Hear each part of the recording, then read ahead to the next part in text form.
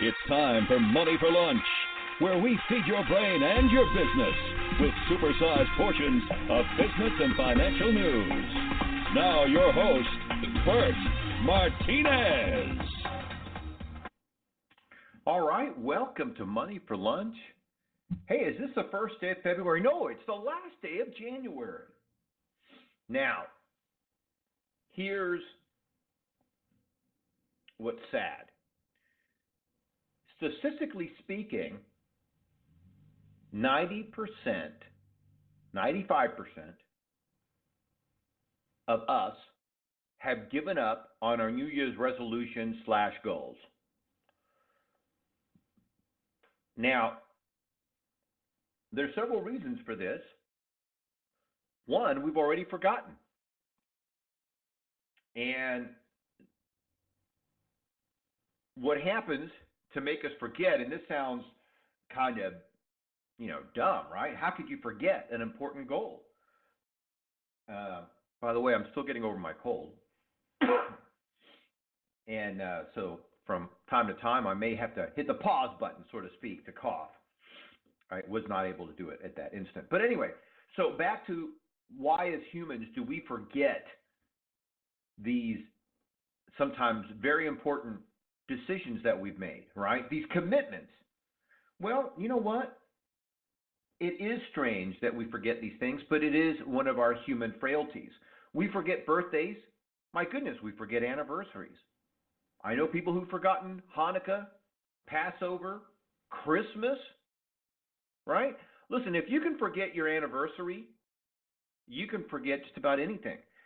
Important dates like showing up to court on time. How many people have forgotten a court date? Right? And this is crucially important. So, if you have forgotten your goals, no bother, no worry, not a big deal. Go and find them. If you don't if you can't find them where you've written them down, then write them down again. Put them in your car, put them on your phone, put them Uh, you know, I like to use a dry eraser and write them on the mirror in my bathroom. I also hang it up in my toilet room, toilet closet, the loo, I don't know. So I put my goals, I have door hangers, and I put my goals on door hangers all over through the house. I constantly re- look at my goals for several reasons. I want to be reminded, I want to avoid distraction, and I want to make sure it's still relevant. Right? Because what happens sometimes is we may accomplish a goal, and so it's good to be able to scratch it off and celebrate. Or we've decided that goal is no longer relevant for whatever reason. Right? Maybe you were training for a Spartan race and maybe an injury occurred, so you're going to postpone it till next year, right? So it's no longer relevant. But having these goals in front of you is a great way to constantly keep you motivated, constantly remind you of this very important decision that you have committed to, right? I mean, because look, the quality of your life is going to be based on your decisions and the commitments there too. Right? And what's interesting is that I think that a lot of us struggle with making decisions. Uh, not too uh, not too long ago, um, I did a video on decisions, right? And um, uh, you know, and so the, the importance of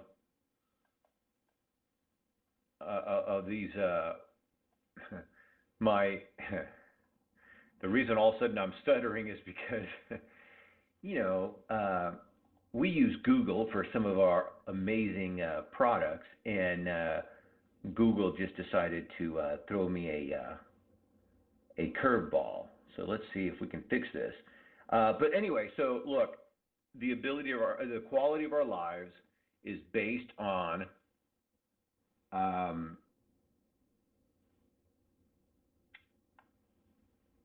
the ability to stay on course, to be able to um, get things done. Right? Sometimes we make a decision and we, like I said, we forget. We get discouraged, right? And sometimes, and this is, I think, happens quite regularly, we're afraid to make a decision because we don't want to make the wrong one. And I think making the wrong decision is better than making no decision because, look, if you make the wrong decision, you can quickly find out saying, hey, this is the wrong decision for me. And then you can decide to make a different decision. You can do a, a correction, right? All right. Well, I am excited uh, for our first guest. Speaking of decisions, our first guest is Dr.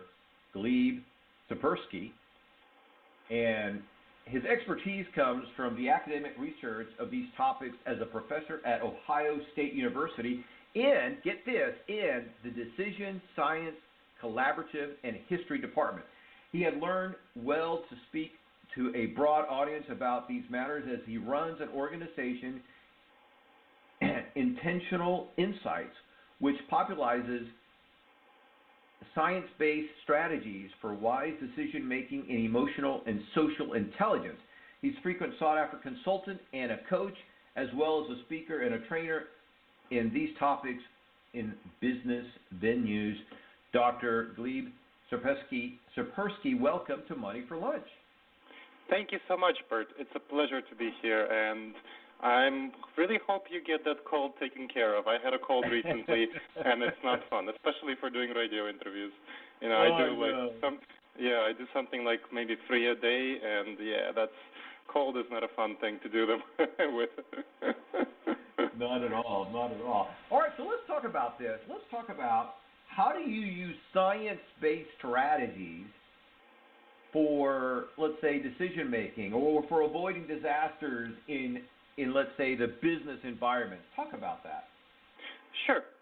So many folks think when they think about science-based decision making, they think it's just cold, logical kind of reason, decision flow, process charts.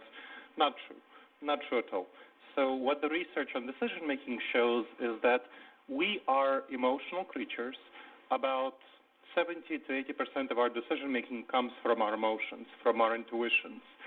And the goal of effective decision making, science based decision making, is to ensure that we combine our intuitions and our emotions with our reason, our heart with our mind, to make the wisest decisions that leads to our goals. So as you mentioned, you know, hanging up the goals for the house, I, I like that idea. We can talk about that, but that's uh, kind of an orientation toward what you're deciding. If you you can't decide to have a certain goal if let's say you know, that's not in accordance with your values. So values, what you care about, which inform your goals, stem from emotions, stem from the things that motivate us, that push us toward our decisions. Then the reasoning part comes into how you will take the best path to get there. So that's kind of the combination of emotions and reason that lead you to make good decisions.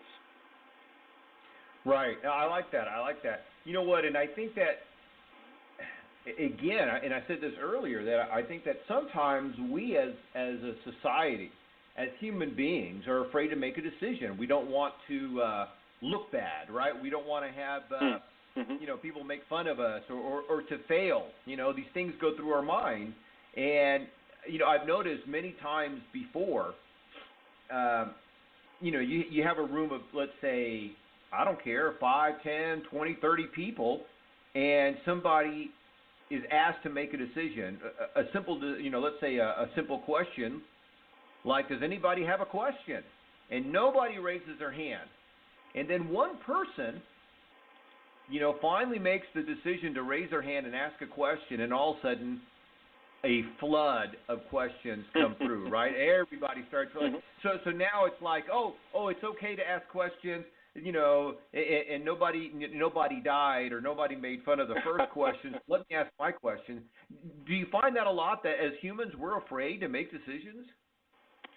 Yes, uh, one of the typical mistakes. So there's a series of mistakes that people make in making decisions. These are called cognitive biases. For any of your listeners who want to look it up, up there's a nice list of them available on Wikipedia, over a hundred of them. And cognitive biases are the systemic ways that our decisions go wrong. One of these cognitive biases has to do with forgetting that not making a decision, not taking an action, is an action. So you are choosing to not make a decision. You're choosing to not act. You know, by let's say not raising your hand in uh, to ask a question, you're choosing to forego an opportunity to get more information. So you are also making a decision. But people forget that. It's not intuitive to our minds. That's kind of one of the systematic ways in which our emotions lead us astray because it's not emotionally comfortable to, as you said, have the potential of being made fun of or something like that or sounding stupid, but then you don't get the information that you need to make a good decision. So that is an important failure mode of our decision making. I see uh, it's also related to another flawed way of thinking, which is called the status quo bias. So that's kind of one of the cognitive biases, status quo bias.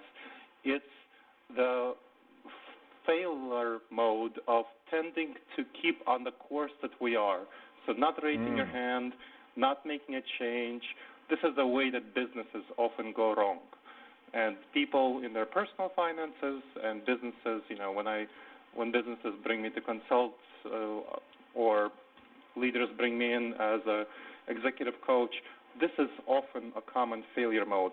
Not changing quickly enough, not taking action, not taking initiative, whether to raise your hand or to change a business policy or to fire an employee or to hire more employees. So that's kind of another failure mode that I see often, and that really is highly problematic for people's ability to avoid disasters. Yeah, you know, and it's interesting too. Now, I want to ask you this: with your work, um, um, do you find that um, that this this failure mode, this, this apprehension that we have, is um, across the board? In other words, uh, executives have this apprehension, maybe not as much as as some other people, but you know, again, high level executives, um, you know, uh, soccer moms, uh, you know, working uh, class people, we all have, you know, some kind of fear when it comes to making a decision, correct? Yes, we all have some fears, absolutely.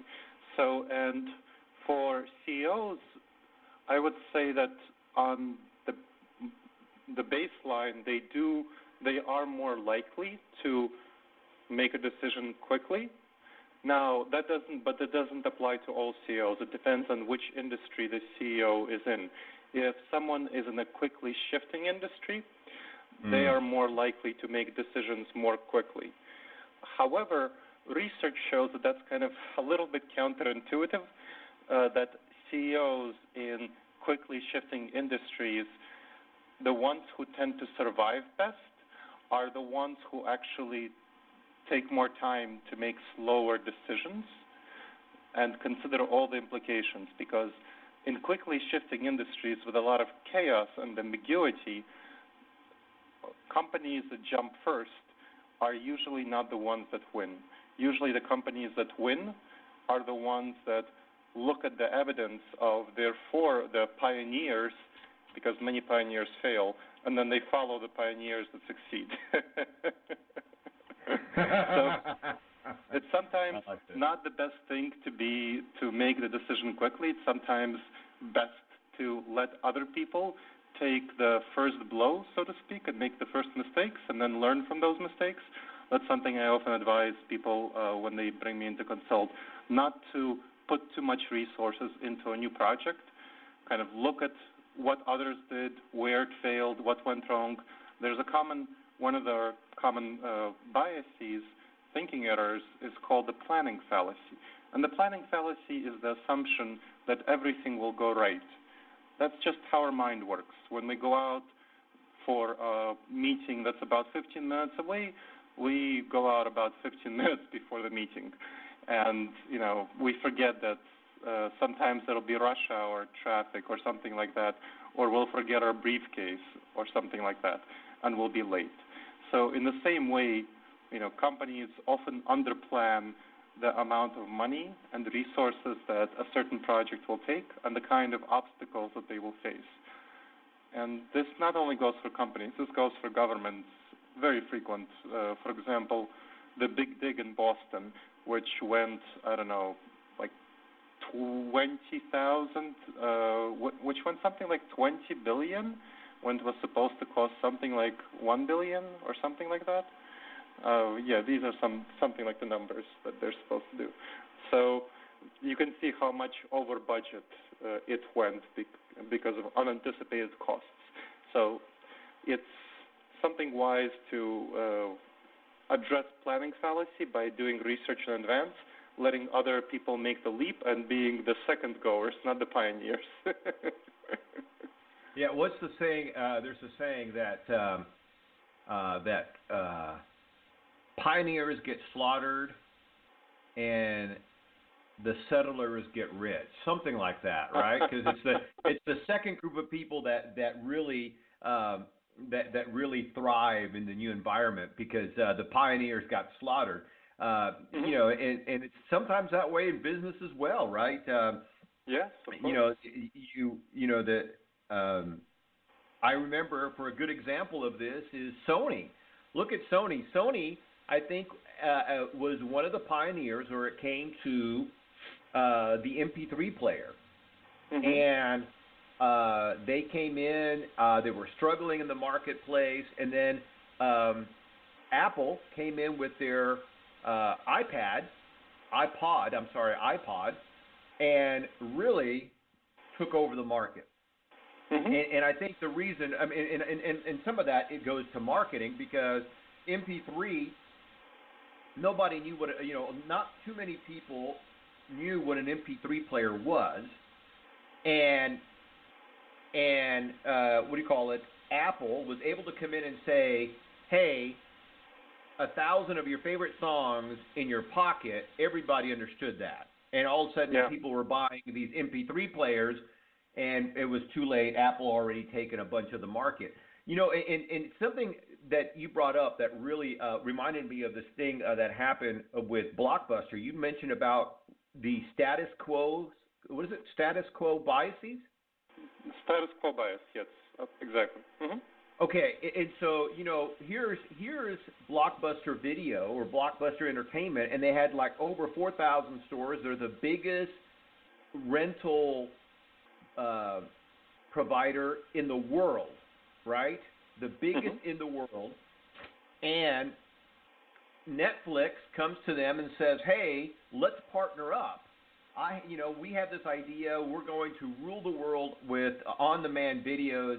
And the uh, CEO uh, and and the smart people there at Blockbuster said, "No, we're not interested in that. Uh, that's not going to work. We're Blockbuster. We're the world's greatest, biggest company. We're not, you know, it's not going to hurt our business." Ten years later, they filed bankruptcy. And I think this is a great example to me of holding on to the status quo, that status quo biases that you're talking about. Absolutely. You're absolutely right. And this is uh, very common in many businesses. We can see uh, another example with Amazon. I mean, Amazon is the largest retailer right now, and right. other retailers that didn't follow the Amazon model are failing. Kmart failed, other businesses failed. Barnes and Nobles is in the process of failing, you know, when it's yeah. competing with Amazon in, in the book industry because Amazon is delivering things online. They didn't jump uh, quickly enough online, but Amazon was not the first retailer, online retailer. It's there were plenty of other online retailers.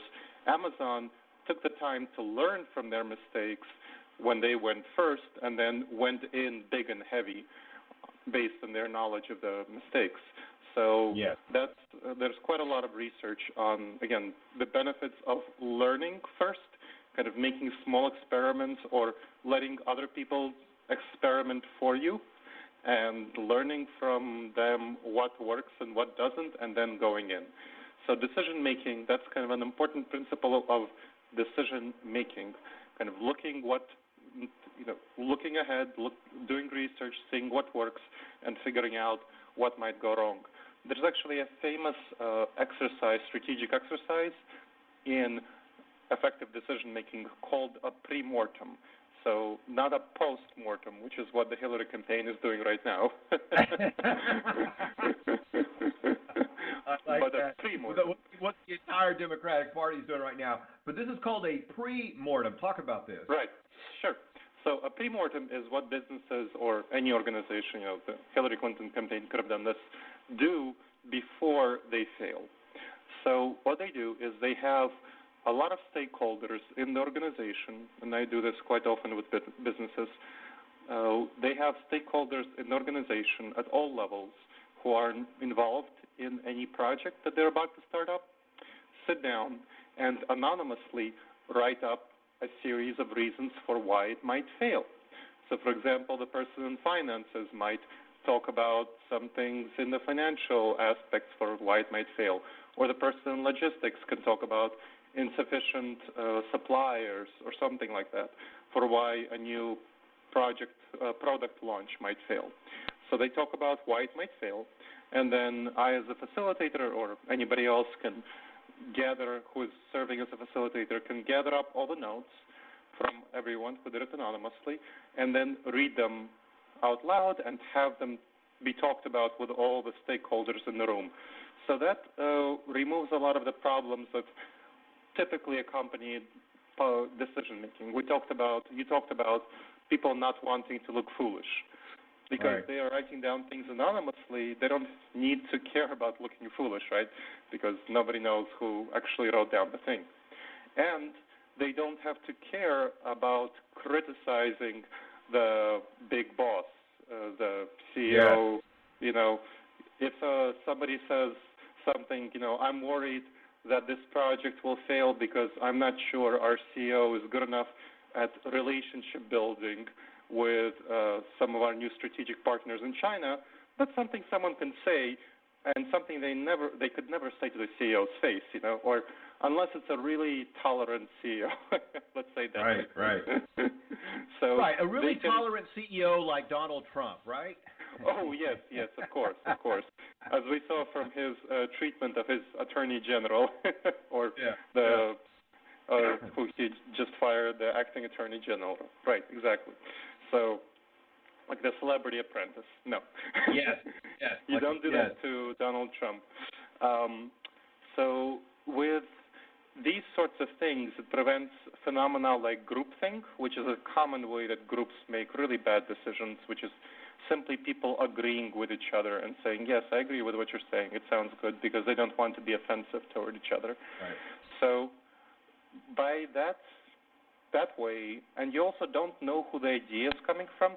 One of the important aspects of research on wise decision making and effective decision making shows that people tend to overestimate ideas that come from people with power and underestimate ideas that come from people who don't have power. Mm. So if you have, and regard, regardless of the validity of the idea of how right, silly right. So if you have that anonymous process, and you know just talking about each idea in turn, you don't know who the idea came from. It could have come from the lowly clerk or the CEO. So therefore, that allows you a lot of freedom to actually discuss and consider the ideas separately of their originator. And so that removes a lot of the common biases that accompany these problems, and it allows you to address the problems in advance that might crop up. You know, Clinton could have addressed, you know, if we're talk, talking about Clinton, could have addressed the possibility that the, uh, the Democrats, uh, the, their traditional Rust Belt strongholds would fail or something like that. So they right. could have addressed these things in advance and so can businesses. You know, Blockbuster could have addressed in advance the possibility that, well, maybe it would be good to invest in this new online thing too. absolutely, absolutely. Dr. Tsipursky, we're out of time. It's been a pleasure having you on the show talking about the science of decision making. Love to have you back again and talk more. Uh, again, thank you so much for joining us today.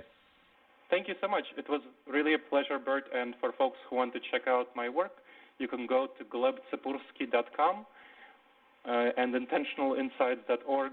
That's the website of the nonprofit that I run. Or you can email me at gleb at intentionalinsights.org.